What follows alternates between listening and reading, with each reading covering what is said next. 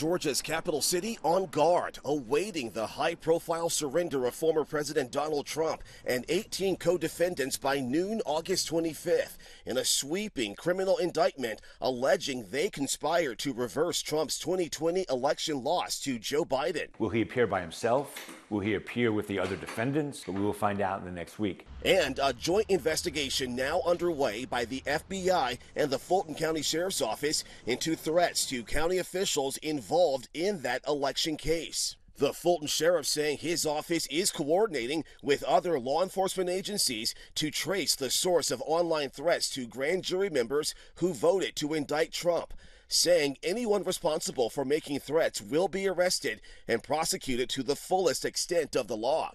Trump on Fox News attacking his latest charges. It's a witch hunt. It's just a continuation of a witch hunt. The former president also now canceling a Monday news conference where he claimed he would present a report exonerating him posting on social media that his lawyers would prefer putting this in formal legal filings. Legal experts not ruling out Trump's attorneys may push to move his Georgia case into federal court. They probably, for their own purposes, would feel more comfortable with. Um, you know, more conservative counties included in their jury pool. And here in Washington, Trump's defense team is requesting his trial in the special counsel's 2020 election interference case be pushed to April 2026, citing an overwhelming amount of evidence. The judge will hear from both sides in a pretrial hearing set for August 28th.